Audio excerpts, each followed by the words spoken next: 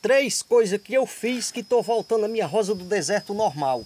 Já tá nascendo folha nova aí e folhas nova aqui. E muitos seguidores viram o vídeo anteriormente. Ela tava toda amarela, não podia nem balançar aqui que caía toda a folha. Tava morrendo. Três coisas eu fiz. Primeira coisa, eu peguei canela em pó, diluí uma colher de canela em pó e dois dentes de alho e reguei o tronco dela aqui. Ela tava com bactéria na raiz lá por, por baixo. Aqui você olhava, você não via. E a segunda coisa, ela tava com muito pulgão aqui, gente. Muito pulgão, mosca branca, cochonilha, tava com tudo que é de ruim em cima dela. Eu peguei três gotas de óleo de cozinha, três gotas de detergente neutro e borrifei nela em todo canto. Essas folhinhas que estão feinhas aqui, gente, elas vão cair, mas ela vai sair toda a brotação e a minha rosa tá voltando ao normal. E detalhe, essa rosa eu poldei, ó, tá aqui a marca e tá aqui três galhos.